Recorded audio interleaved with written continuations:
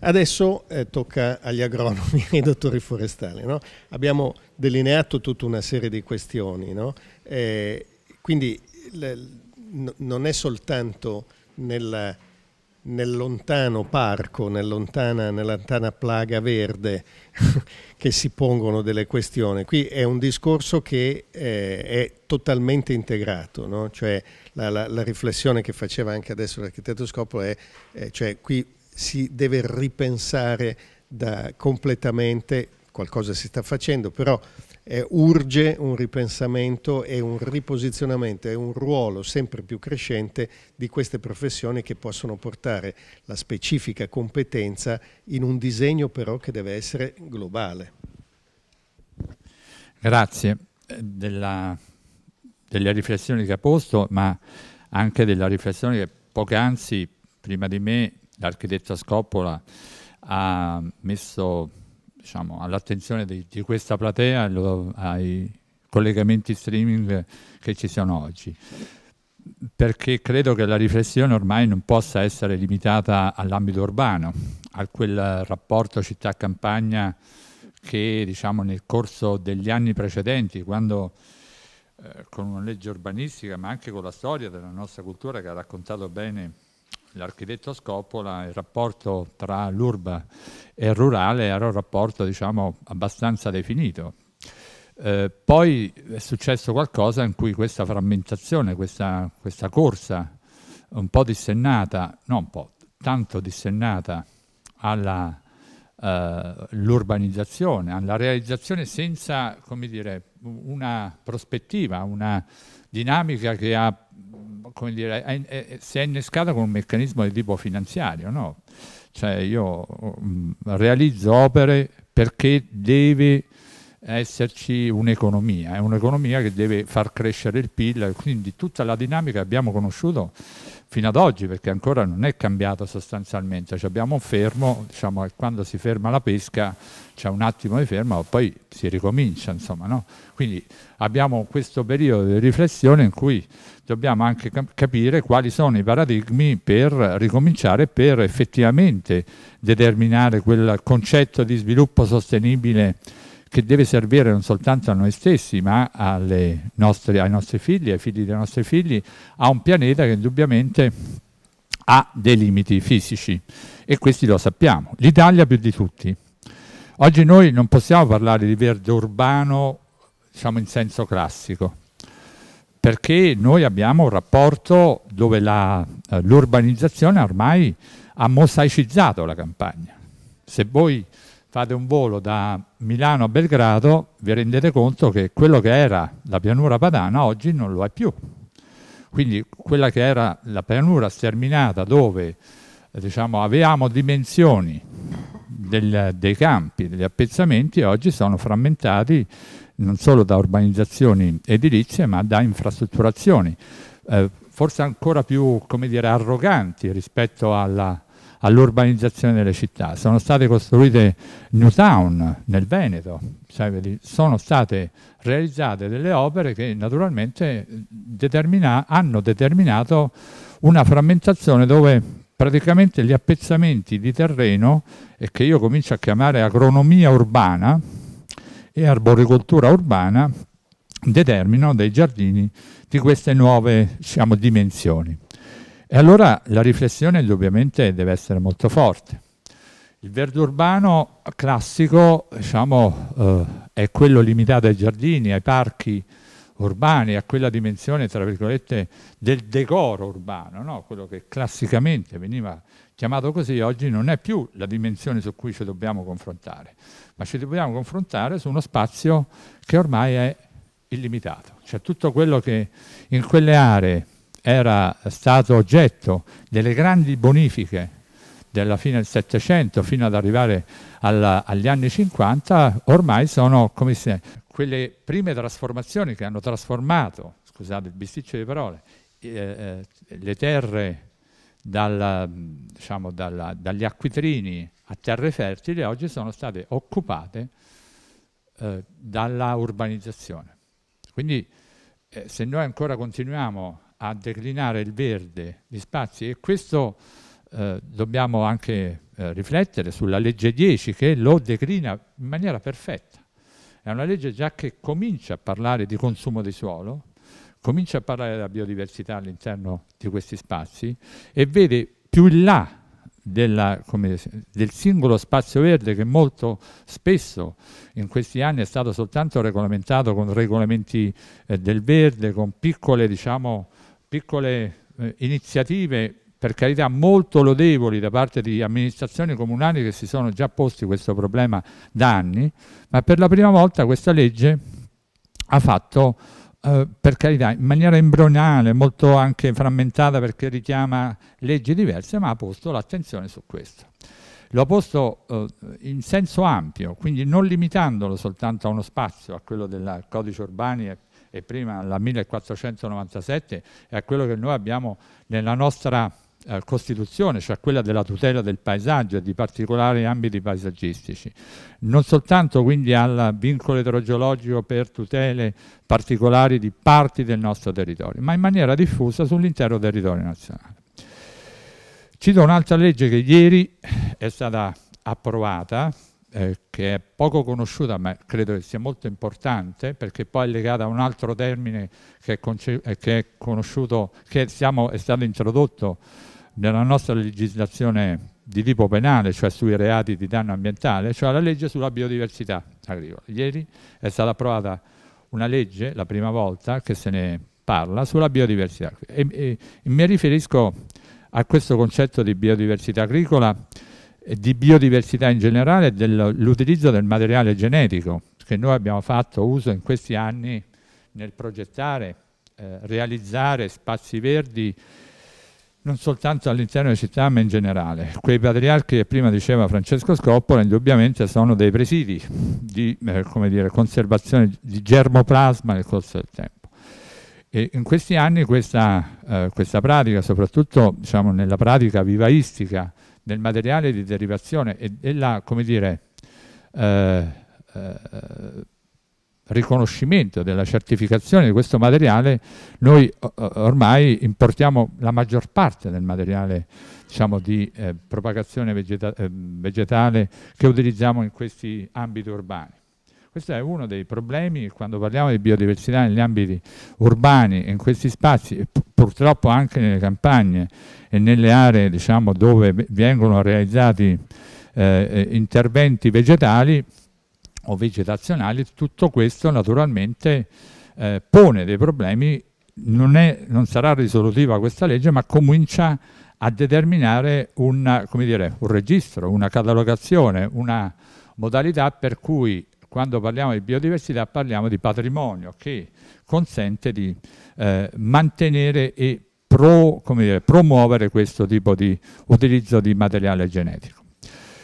La uh, riflessione che mi poneva il moderatore, cioè sul ruolo della professione, degli agronomi, dei dottori forestali, dottori agronomi, del rapporto uh, che ci deve essere in una uh, pianificazione, in una progettazione multidisciplinare, e io credo che sia ormai eh, dire, fondamentale perché non, non, non, tutto risiede in una, eh, in una professione, in un sapere. Non solo in senso tradizionale, io sostengo, ma anche proprio in senso dell'innovazione che le professioni devono svolgere eh, nel saper operare con linguaggi comuni, ma anche saper operare con una prospettiva eh, di un'organizzazione un degli spazi eh, eh, in maniera completamente diversa da quello che abbiamo fatto fino ad oggi. Ci sono due riflessioni che intendo fare. Domani se ne parla all'ultimo giorno degli stati generali, prima della giornata dell'albero, cioè quello della ricerca e dell'università, della formazione delle nuove generazioni dei professionisti. Noi siamo nati in un periodo professionale, come dire, di mezzo, poi questa parola di mezzo la citerò poi, anche per altri motivi, sul valore economico del verde. Siamo eh, almeno quelli della mia età, io ho 50 anni eh, siamo nati in un periodo in cui eh, c'era l'urbanizzazione eh, forte, dove questi principi che oggi noi discutiamo erano marginali perché c'era una corsa a quello, ma nel frattempo diciamo, una, eh, dire, un nucleo molto ristretto già cominciava a ragionare su questo, in, sia in termini di difesa dell'ambiente, sia in termini proprio di una professione che doveva guardare a questo tipo di approccio, perché questo tipo di approccio consentiva anche degli spazi professionali, lo dico anche in termini, come dire, molto... E, e quindi eh, oggi siamo arrivati a, dire, a un momento in cui c'è una riflessione eh, ovunque. La crisi finanziaria ha portato a, a riflessioni su come eh, le varie professioni, e compresa anche la nostra, si devono dire, rivedere, rifunzionalizzare per i prossimi 15 anni. Perché è evidente che eh, non possiamo oggi, soprattutto lo dico come classe dirigente, pensare che fra 15 anni avremo le stesse cose che facciamo oggi. Quindi se non lo pensiamo oggi di come non solo l'ambiente, ma come saranno le necessità, i fabbisogni delle persone che abitano questo pianeta, abitano l'Italia in generale, di come, e quali saranno le dinamiche che possono portare a, dire, a ulteriori eh, diciamo, periodi di crisi, ma soprattutto a come questa professione può essere utile no, per le persone, per coloro i quali poi utilizzano questa professionalità. Beh, io credo che questa è una delle riflessioni che insieme alle altre dobbiamo farlo, lo facciamo anche al nostro interno, al nostro interno della categoria, ma eh, credo anche che c'è una necessità eh, proprio in, immanente della eh, eh revisione della formazione universitaria eh, rispetto a questi temi perché evidentemente noi ancora, come dire, quando parlavo di due, termini, due termini, due discipline che possono essere, potevano essere già impiantate da molto tempo, che è l'agronomia urbana, cioè come coltivare in città, d'accordo? Con substrati diversi, con metodologie diverse, che abbiamo dire, sperimentato direttamente a livello professionale, ma che a livello disciplinare non si sono mai articolati con una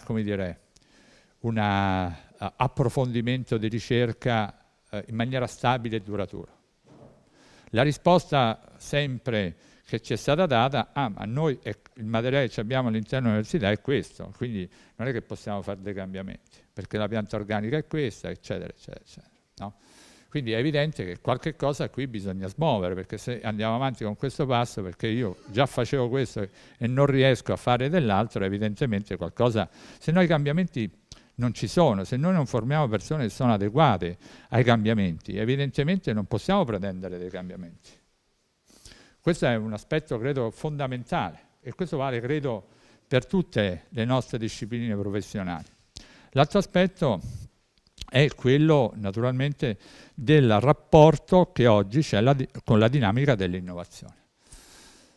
Questo dipende, eh, questo è come dire, eh, rilevante soprattutto nel nostro paese. Noi assorbiamo molto da fuori e poco produciamo per il fuori.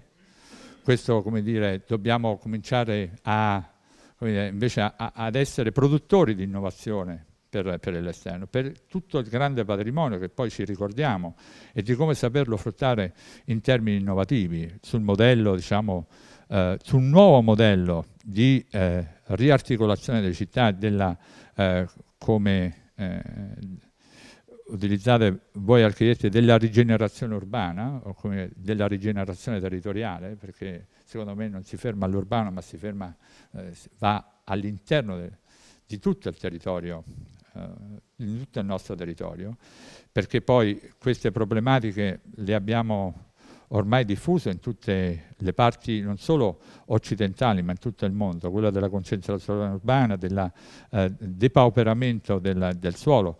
Eh, questo, questo, è l'anno, si sta concludendo, con il 5 c'è la giornata eh, sul suolo, è l'anno internazionale del suolo. Eh, sull'anno internazionale del suolo poche cose sono state fatte sul valore effettivamente non sol soltanto biologico, ecologico e di biodiversità del suolo, ma sappiamo benissimo che proprio in quest'anno la Commissione europea ha ritirato la direttiva sull'uso del suolo. Mm? Proprio quest'anno l'ha ritirata. Cioè non è che No, sono dieci anni che stava lì a essere discussa e proprio quest'anno l'ha ritirata. Diciamo che non c'erano i tempi maturi per poterne farne una no? che eh, programmava questo, il consumo di suolo zero al 2050. Noi abbiamo una legge lì dentro che no, si è fermata, non è un problema solo di consumo di suolo, no? poi andrà avanti, andrà avanti, è come interpretare, no? diceva bene nella sua uh, analisi Francesco Coppola, di come interpretare questo contenitore per, i prossimi 50 anni, quindi noi dobbiamo farlo e abbiamo le professionalità giuste. Termino con una considerazione sul valore economico del verde, che prima abbiamo detto abbellimento, eh, è come dire, un pezzetto della pratica urbana. Beh, non credo proprio, insomma, perché se i fatti di Roma Capitale, no? eh, ritenevo che questo era uno dei più grossi business, no? siamo intervenuti con una delibera dove praticamente non è solo un problema di Roma Capitale, eh, questo è un problema di tutte le città dove il verde viene considerato Cenerentola, attenzione, non professionalizzante, con maestranze altrettanto, va bene? Non professionalizzate, perché possiamo prendere dai, con tutto il rispetto per le persone, quindi non sto citando a, ca a caso queste cose, professionalità che poi a livello proprio di manodopera possono essere dei disadattati, dei, eh, dire, dei detenuti o delle, diciamo, tutto quello che può rientrare nelle cooperative di tipo B o variamente diversificato, in maniera tale che noi possiamo bypassare qualsiasi regola, bene, per fare business. E questo è stato il trattamento no, in questi anni di questo settore e continua ad esserlo. E continua ad esserlo. Perché se voi andate a guardare, dice perché le potature non sono state fatte bene? No? C'è una ragione, perché le maestranze non sono formate non sono formate per questo, ma vengono utilizzate altri tipi di maestranze che vanno bene per fare altri tipi di scopo. E non ce ne accorgiamo. No? Perché naturalmente il beh, se è potata male, tanto insomma, non succede niente, no? ricrescerà, eccetera. No? Questo è il ragionamento. È evidente che se io voglio della manodopera despecializzata, anche il quadro evidentemente deve essere non specializzato o comunque c'è una ragione per raggiungere quell'obiettivo, no? È evidente. Eh, quindi se noi trattiamo questa materia in questo modo per renderla il più semplice possibile, d'accordo? Che può essere per tutti, perché cosa serve tagliare un prato? No? Cioè, tutte queste considerazioni che sono uscite fuori quando è uscito fuori un bubone, mh? Hm? È evidente che bisogna porselo come riflessione per dire se o meno questo lavoro deve essere qualificato e quindi deve essere messo bene, in un quadro ben preciso. Sulla direttiva appalti, d'accordo? Questo è un settore, come avviene considerato in tutti i paesi europei, un settore che è ad alta specializzazione e quindi va qualificato per questo sono mestieri ben precisi e quindi vanno assolutamente codificati poi nei bandi, nelle regole, con le qualifiche giuste e corrette. E quindi vedremo poi una responsabilità maggiore, un'attenzione maggiore, ma soprattutto una realizzazione delle opere che siano poi durature nel tempo. E quindi questo è uno degli, degli elementi su cui noi dobbiamo tutte le professioni, ma tutti coloro i quali, dai quadri, non solo i quadri, ma dalle amministrazioni, dagli assessori al verde, a coloro i quali si occupano di queste cose, bisogna porre attenzione su questo tipo di lavoro. Questo è un lavoro fondamentale, che parte certamente anche da una buona progettazione, no? che deve avere quell'indirizzo per poi qualificare il lavoro che se ne fa. Questo è, diciamo, uno dei punti su cui come comitato non solo ci siamo battuti, ma ci siamo impegnati a far sì che questo tipo di ruolo sia un ruolo dove le amministrazioni lo prendano non come un elemento, come dire, no? per nascondere, ma come un elemento di grande. Senza una buona qualificazione del verde all'interno delle città non si fa, non c'è non ci potrà mai essere. Grazie. Grazie Presidente. Allora, eh, ci avviamo alla conclusione perché c'è una seconda tavola rotonda tra breve che prenderà eh, la seconda parte della, della, riflessione. Quindi io concluderei con una battuta proprio velocissima a, a raffica di, di, di, degli, dei tre relatori rimasti. No? Cioè, eh, questo, questo, è un pezzo del, degli stati generali del verde. No? Stati generali, eh, quando si dice stati generali si dice qualcosa di importante. No? Presuppone, credo, eh, una, un, un contributo a un processo che aiuti una consapevolezza un po' più generale, no? eh, riuscire a essere eh, fattore di cambiamento, fattore di, eh, di, di, promozione di qualcosa di forte, di una, di una, svolta culturale, per non fare quello, ricordo la definizione che dava il primo ministro della, dell'ambiente italiano, era Giorgio Ruffolo, no? che diceva attenzione a non fare del semplice, intellettuale raffinato, dice del semplice nettoyage. No?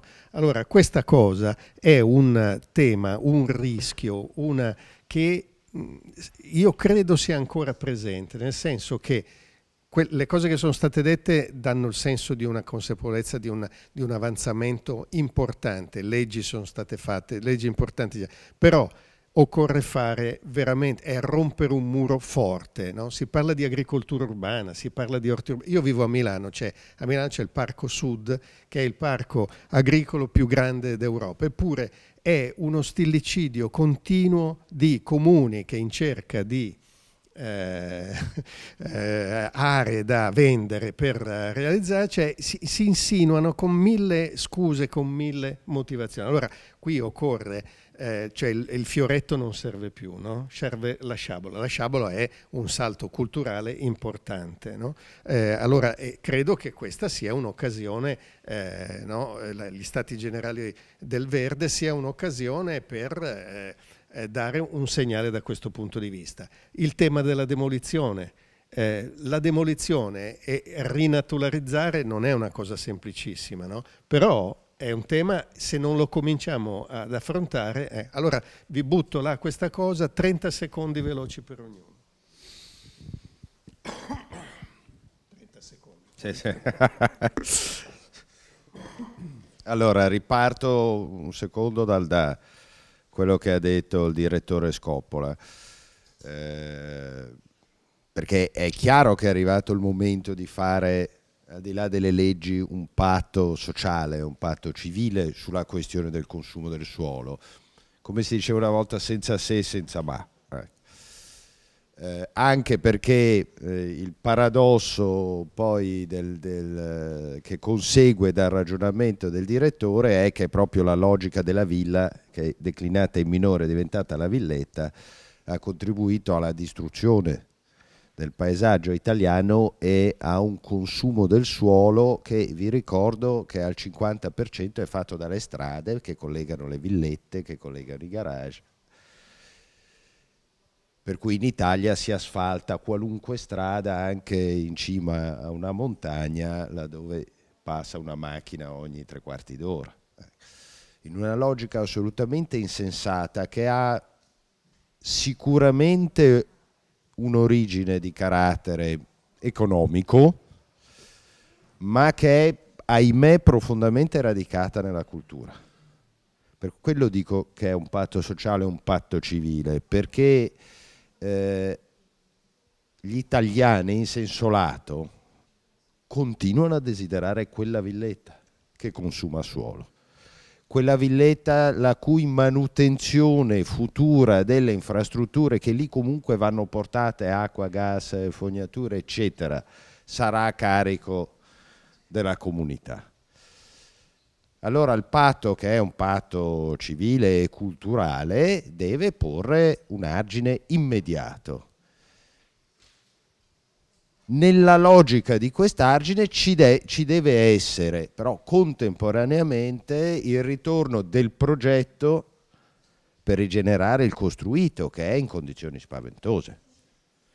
Non sto parlando evidentemente dei centri storici che vanno eh, eh, lavorati con l'attenzione necessaria, sto parlando di un patrimonio edilizio di 12 milioni di edifici, di cui 8 stanno andando a fine vita e che sono in condizioni spaventose, in un paese in cui lo spazio pubblico e per cui il verde è sempre stato in fondo l'ultimo,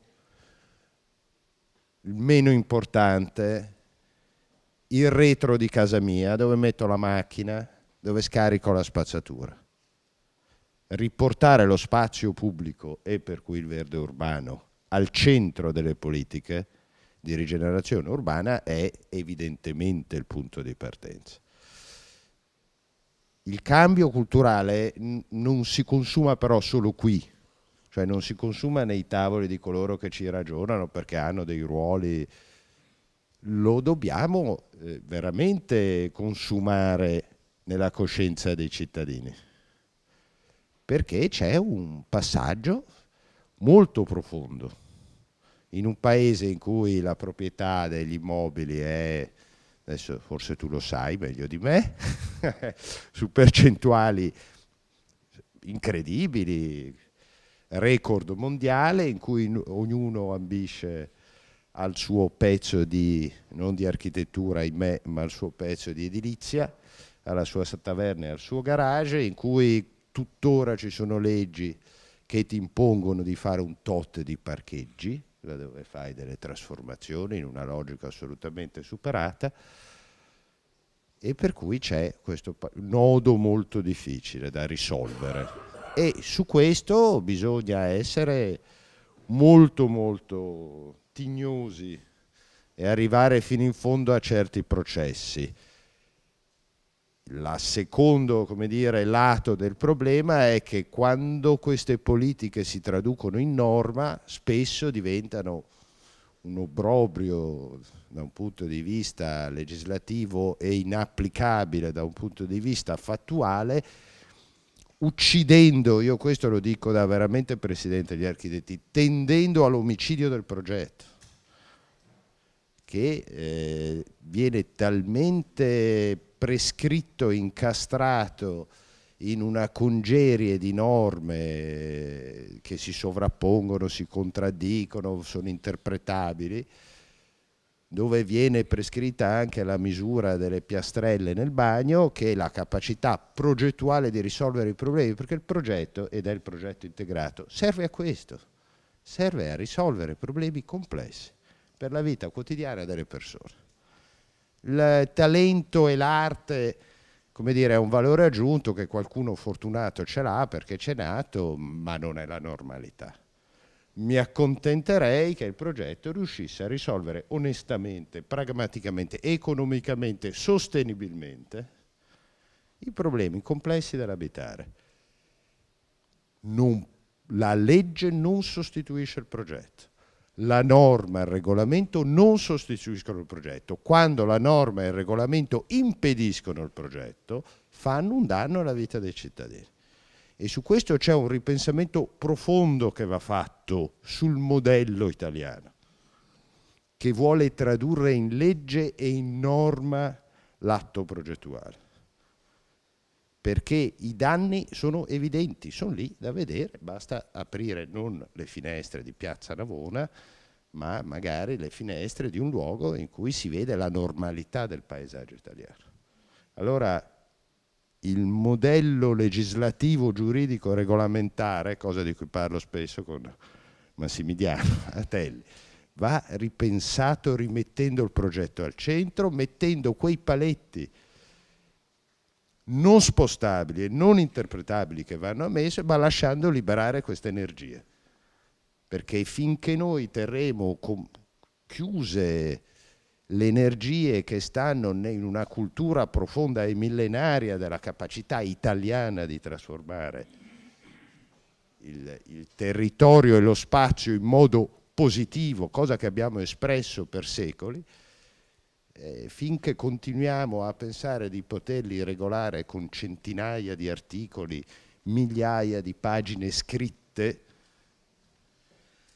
in cui i progetti vengono descritti con parole non disegnati, noi continueremo dire, a non essere capaci di risolvere problemi complessi, ma a creare complessità a monte che impediscono la soluzione dei problemi.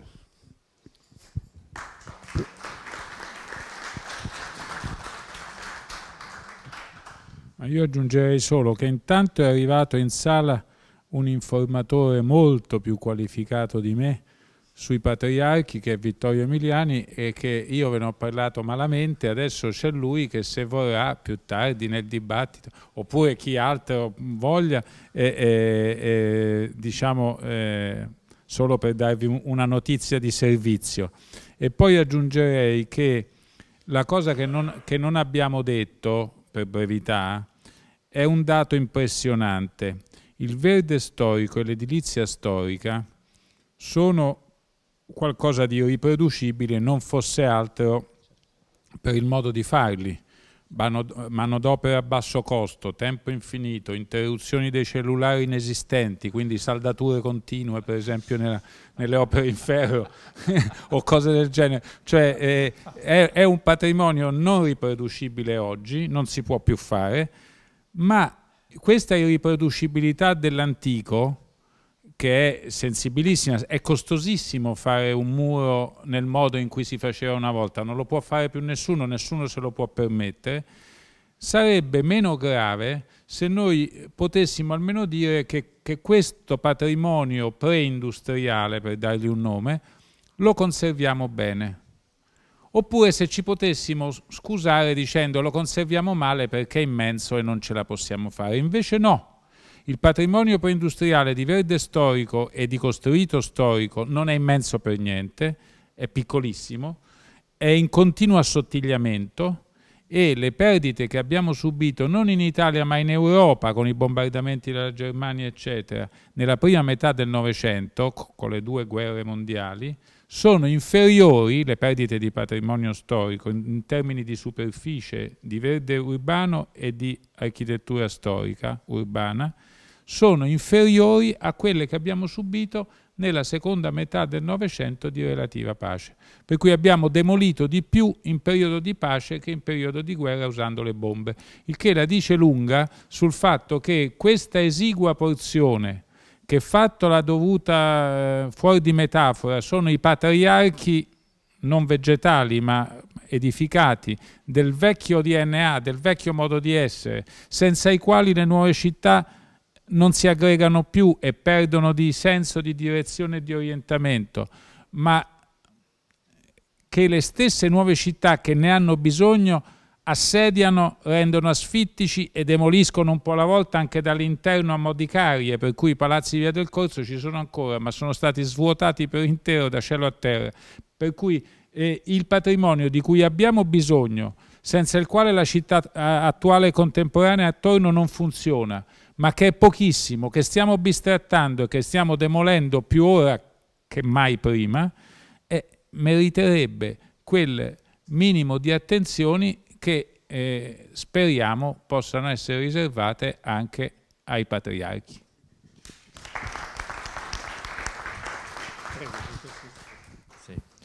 l'ultima considerazione è comunque sempre sul valore. Se noi, noi abbiamo a livello comparativo, e, e, questo è stato uno dei motivi per cui l'Italia si è trasformata in così poco tempo in tanto, uh, in tanto territorio cementificato, e cioè quello del valore di trasformazione. Quindi la comparazione tra un terreno uh, libero, un terreno naturale, e il valore di trasformazione che si dà a un terreno che va in edificazione. Quindi questo, questa comparazione fino a quando dire, si determinerà, continuerà ad esistere, che sul terreno che può essere urbanizzato e quindi da, da piano regolatore viene messo una casellina e si dice da domani passi da zona E o zona bianca, una volta ve lo ricordate, le zone bianche, quelle che stavano al di fuori dei centri edificati, diventa una zona D o una zona C,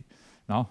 eccetera. E quindi dopo lì la banca ci mette il mutuo perché poi può essere utilizzato per altri motivi, evidentemente tutto questo no? naturalmente eh, fa secco nostri eh, le nostre valutazioni di tipo ecologico, cioè quanto vale quel metro cubo di microorganismi che sta sotto, che mantiene la fertilità dei suoli, che preserva la natura e preserva noi stessi nel futuro. No? È comparabile in termini economici. Abbiamo degli indicatori, e lo dico da agronomo, ancora non abbiamo indicatori per valutare economicamente quel metro cubo di microorganismi che dà la fertilità ai suoli, che consente di rigenerare no? eh, i suoli stessi per mantenere la fertilità del futuro. La fertilità quanto vale rispetto al valore di trasformazione edilizia? Perché questo ancora è il paradigma che noi abbiamo di fronte e questo qua è disposto una banca a metterci un mutuo su un terreno dove non c'è quella casella con classificazione da E a D? Questa è la domanda con cui vi lascio. Quindi, no?